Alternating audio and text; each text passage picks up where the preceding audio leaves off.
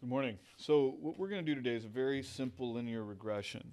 We're going to talk about uh, how this gets done in Excel and not particularly difficult. The first thing we need to do is go up to data on your Microsoft Excel and make sure you have this data analysis tab. If you don't have this data analysis tab, because this is where we're going to actually run the regression, um, you come up here to file and we are going to run our options. And then we're looking for an add-in, so we're going to click on add-ins right here in the middle. Add-ins. Give a second. Don't worry about all of this stuff. Skip all of this. Go right straight down to the bottom to manage Excel add-ins. And there's other options here, just Excel add-ins. Go. And you'll see that there are two analysis tool packs. One of them says VBA. That's the virtual basic. We don't want that. We want the regular normal analysis tool pack. Hit OK. Then go back to data and you should see this data analysis uh, tab surface up here at the top. When it does, you can go ahead and unclick, unselect the entire deal because I must have done that. Um, and let's talk about this data set for just a second.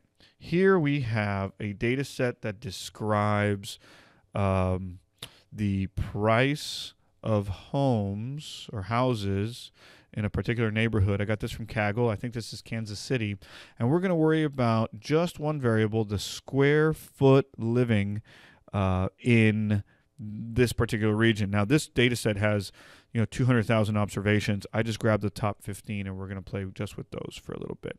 Matter of fact, what I'd like to do to make this easier for us here in a bit is to take this entire row, let's take the entire row, and I'm going to copy and paste it um, over here, insert copied cells, so that we have them together.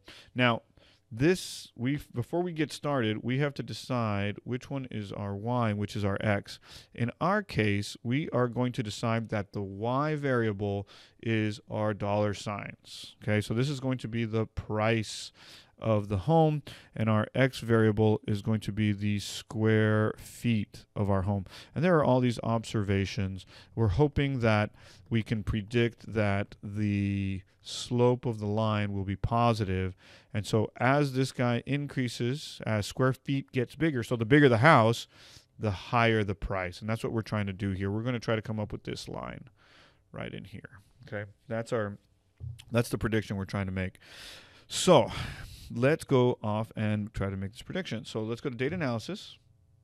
And you'll see, you might have to scroll down a little bit to get to the R's, but you'll see one that says regression. Highlight regression, hit OK. When you do that, you'll have all of this data all, or all of these choices. Let's go ahead and delete these for a second. Again, we've already decided that our Y range is going to be the price. So all I'm going to do is highlight the Y range. I kind of came short here. Let me go all the way down to the bottom. And that's going to be from D1 to D15. In this case, it automatically locks it up, but no big deal. And my X range is going to be all the data points in square foot of living. In this particular case, I'm hitting labels because I've included the variable name as part of my selection process. If you don't, and you don't have to click on that one, you sometimes get something weird there, and that's why labels will solve that for you. And that's it. I'm not going to mess with anything else. I'm going to hit OK. When this guy hits OK, I get a new sheet that has all my regression stuff. And we're going to skip all those stuff on top for, for now, and we're just going to focus on the coefficients. And so the coefficients are the manner in which I draw my line. Okay.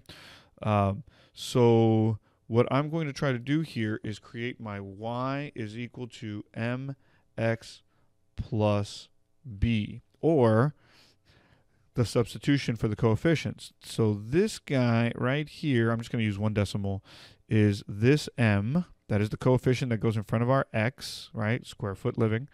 And this guy, again, just one decimal, is my y-intercept. So here, what we're saying is that the price of the house is equal to 202.5. Note that this is a positive signed uh, coefficient times x. But what is our x? Our x is the square feet plus my intercept. 4, 5, 8, 3, 4. And this should be a dollar sign, really. But you get the point. And that's it. That's our line. That's the regression. When we get the square foot living coefficient, it goes here, and the other guy goes there. That's it. That's our regression line. Now, I uh, I hope that was a good example. Um, let's try something in our sample. Uh, let's do square living and price and highlight them down. And let's insert a little scatter plot. And see if that makes sense. Yeah. So here is our price scatter plot. You can see all the dots. You can already tell that there's a regression in here. There's a relationship between the two. And what we do with our with our uh, line graph is that there is some point over here uh, where the y-intercept comes into play, and we create a positive line that describes then uh, the slope. So this is going to be my y equals mx plus b, and we're trying to find that line of best fit.